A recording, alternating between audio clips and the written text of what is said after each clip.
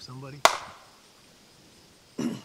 okay, so now I'm going to show you guys how to use the buck junkie or the saliva and forehead glandular scent. This is our signature series, man. This, this, is the, this is the one that I'm so jacked about. Primarily, we built it so that you could use it on a existing rub tree.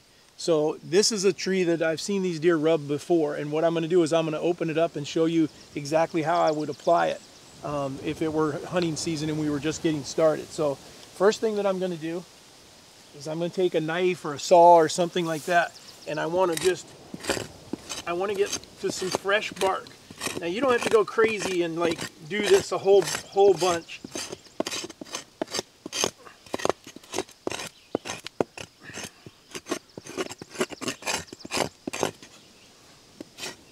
What I'm trying to do is get a few cuts in the tree, though, that'll hold some of the scent.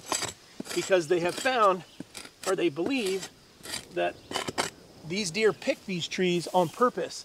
Pick like cedar trees and, and uh, pine trees because they believe that the actual rubbing their forehead on there will actually, that scent will stay longer. So once we get this opened up, we're just gonna throw either, you could do it one of two ways. This is an oil, and this one is a paste. And I'll show you how to do both. I'm gonna just take a little bit, put the lid back on this one for right now, and I'm gonna drop this on here. I just want a few drops. And then, that's it.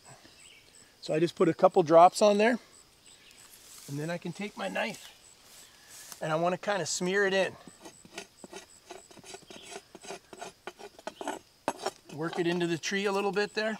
Now, typically, I probably wouldn't use both. I'd use one or the other. But if I want to give a little extra scent, I'll find something that I can stick this on because he may have rubbed his forehead on there and I just slide it over a limb like that where I don't ever even touch that limb. And then I'm going to smear that in too. There's a little bit on the end of my knife. That paste works really good and the paste is actually going to stay longer than even the oil will. But that oil is going to be powerful. That's why we did it that way. So, and primarily when we're going to start doing this is when your deer start to make rubs. So they got to be out of velvet. I would tell you that probably September and then throughout the rest of the season. So September throughout the season, that's when you want to use your buck junkie. Um, it, it's a glandular scent. It is the forehead and the salivary glands. So you can actually use this as well over a scrape as well.